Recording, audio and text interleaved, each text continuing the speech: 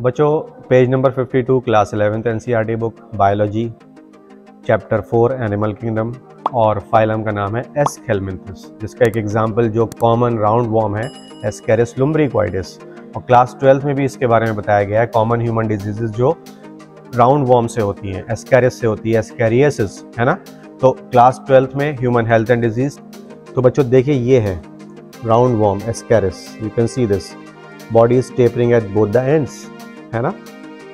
This is Ascaris अब ये अकेला नहीं होता है। बच्चों के पेट में कीड़े हो जाते हैं तो ये मतलब मास में होता है। There are you know numerous in one individual जैसे टेनिया सोलियम के बारे में हम जानते हैं कि वो अकेला होता है बट ये मास में होते हैं। कई सारे होते हैं एक इंडिविजुअल में, और डिज़ीज़ का नाम है एस्कैरियसिस